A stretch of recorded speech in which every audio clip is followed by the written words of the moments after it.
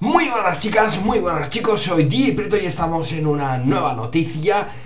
Bueno, la verdad es que se avecina guerra, se avecina guerra, eh, ya sabéis que muchas veces en el mundo de los videojuegos, eh, pues bueno, eh, muchas declaraciones generan polémica, ¿no? Y aquí en este canal siempre hemos informado de lo bueno, de lo malo, de lo regular, muchas veces sabiendo que en los comentarios os vais a matar, ¿no? Os vais a matar porque, porque os tiráis al cuello, ¿no? Muchas veces. Eh, la verdad es que a mí estas, este tipo de declaraciones no me gustan nada, las que os voy a comentar.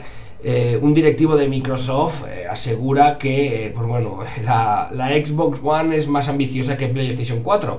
Así de retundo ha, ha sido en unas declaraciones que, bueno, ha sido Aaron Greenberg, ejecutivo de Microsoft, que ha charlado hoy con los medios defendiendo su nueva consola.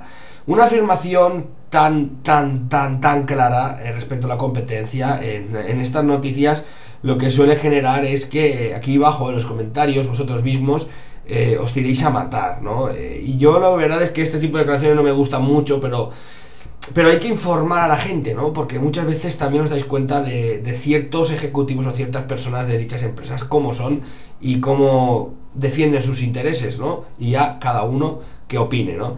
Pero bueno, hay que contarlo y así ha sido, ¿no? Hoy a Aaron Greenberg, eh, ejecutivo de Microsoft, ha charlado hoy con los medios y ha asegurado que la One es más ambiciosa que PlayStation 4.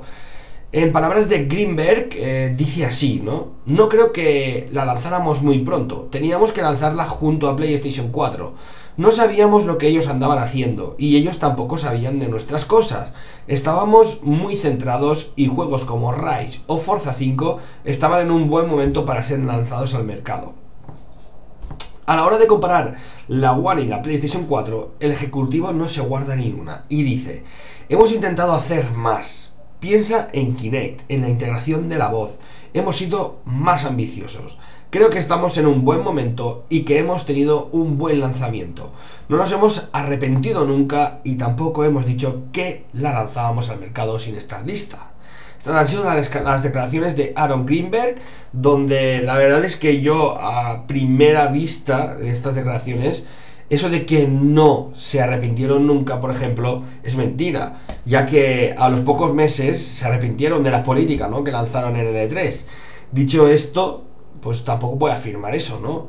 Pero bueno, ahí están sus declaraciones. A mí que que, os discutáis vosotros entre que si la One es mejor, que si PlayStation 4 es mejor, siempre me parece una tontería, siempre os lo digo, hay que disfrutar cada uno en la plataforma en la que pueda jugar, en la que pueda conseguir, porque muchas veces es muy difícil poder conseguir una consola para jugar, yo mismo vendí todas las consolas que tenía para poder conseguir dinero para comprarla y es difícil, es difícil conseguir una plataforma eh, de una consola, ¿no? Muchas veces sale mucho más rentable tener un, montarte un PC, ¿no? Siempre lo he dicho y, y la verdad es que pues bueno, que no discutáis, que no vale la pena, que cada consola tiene sus, exclusivos, eh, la Wii U tiene sus juegos, la, la, PlayStation 4 tiene sus juegos exclusivos, la One va a tener sus juegos exclusivos y los tiene, eh, que bueno, según en qué plataforma tú tengas más amigos o tengas más posibilidades de disfrutar, pues esa va a ser la mejor consola para ti.